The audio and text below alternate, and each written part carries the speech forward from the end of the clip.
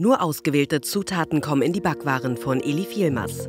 Die Konditorin zaubert in ihrer Fabrik Torten und Kuchen, die auch im Einzelhandel verkauft werden.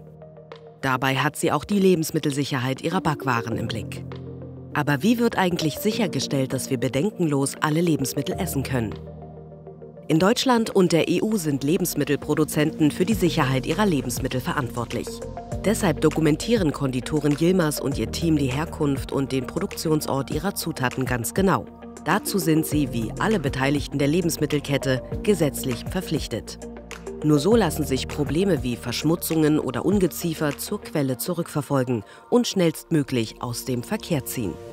Und die Genauigkeit lohnt sich, denn Herr Stich und Frau Probe von der örtlichen Lebensmittelüberwachung sind im Haus. Sie kontrollieren die Dokumentation der Zutaten und nehmen Proben des Gebäcks, die später im Labor untersucht werden. Die amtliche Lebensmittelüberwachung ist überall dort unterwegs, wo Lebensmittel hergestellt oder verkauft werden. Vom Weiderind bis zum Restaurant. Vom Kirschbaum bis zum Tortenteller. Verantwortlich dafür sind die Bundesländer. Bis zu eine Million Mal im Jahr werden diese Betriebskontrollen von Landkreisen und kreisfreien Städten durchgeführt. Aber nicht alle Lebensmittel in Deutschland werden vor dem Verzehr kontrolliert. Vor allem Betriebe, die schon mit Verstößen und Falschinformationen aufgefallen sind, werden öfter kontrolliert, auch unangemeldet. Im Extremfall können sie sogar geschlossen werden. Aber auch auffällige Lebensmittel im Einzelhandel werden schnell vom Markt genommen und die Verbraucherinnen und Verbraucher darüber informiert.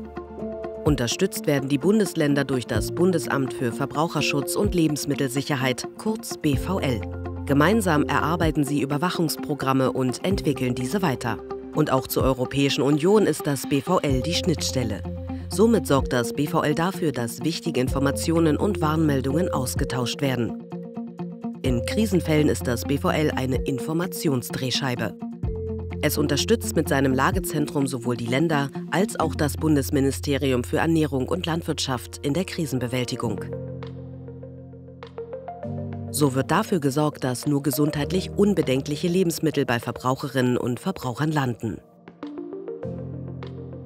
Sie können sich also sicher fühlen beim Griff ins Supermarktregal und bei Frau Jilmers Torten.